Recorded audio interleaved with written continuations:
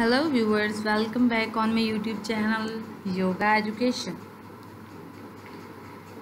And today I will tell you about the types of yoga. How many types of yoga and what are their general description and brief introduction. Dear viewers, if you are doing yoga and want to know about different facts of yoga, please subscribe my channel. So let's start. Modern yoga Modern yoga focuses on exercise, strength, agility, and breathing. It can help boost physical and mental well being. There are many styles of yoga. A person should choose a style based on their goals and fitness level. So, there are different types and styles of yoga. Number one, Ashtanga yoga. This type of yoga practice usually ancient yoga techniques. Ashtanga applies the same pose and sequence that rapidly link every movement of breath or every movement to the breath. Number 2 is the Bikram yoga.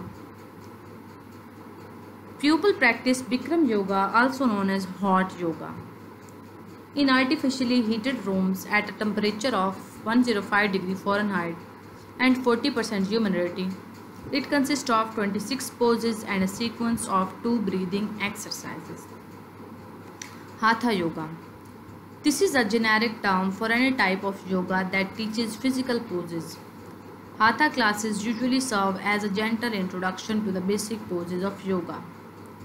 Iyengar Yoga This type of yoga practice focuses on finding the correct alignment in each pose with the help of a range of props, such as blocks, blankets, straps, chairs and bolsters or bolsters. Kripalu Yoga. This type teaches practitioners to know, accept and learn from the body. A student of Kripalu Yoga learns to find their own level of practice by looking inward. The classes usually begin with breathing exercise and gentle stretches followed by a series of individual poses and final relaxation. Kundalini Yoga Kundalini Yoga is a system of meditation.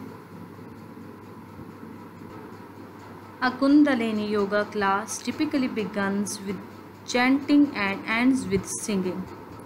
In between, it features asana, pranayama, and meditation that aim to create a specific outcome. The next one is power yoga.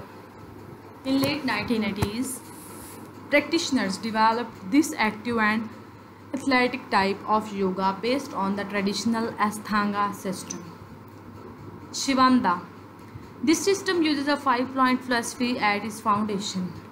This philosophy maintains that proper breathing, relaxation, diet, exercise and positive thinking work together to create a healthy yogic lifestyle.